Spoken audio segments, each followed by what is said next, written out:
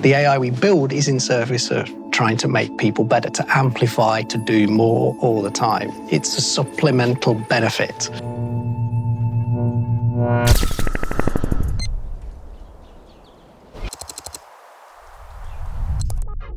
Being responsible as we train AI is a really important thing for us to do.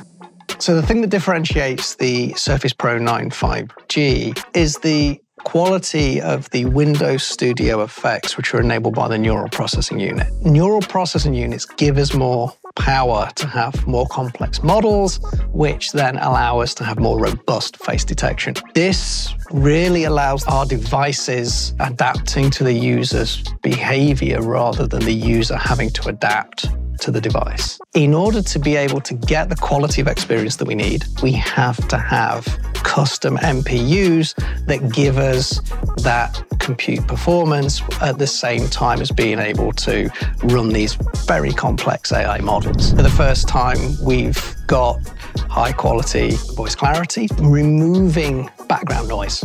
AI allows us to remove the sound of the guy being outside of the window with the leaf blower. We right now we are using like a traditional noise suppressor and it should be quite loud. Let me go and enable the new voice focus.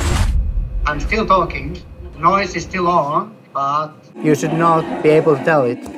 You can't do that with traditional processing techniques. You have to have an AI layer on top of it to just really look for the human voice and forget everything else during the pandemic, many of us sat there at our desks at home working away, and you'd either adjust yourself to frame yourself perfectly, or you'd be in a call and you'd be framed incorrectly. Auto framing removes that, but as long as the camera can see you, you can guarantee that it's going to center you properly, frame you nicely, and you just don't have to worry about it anymore.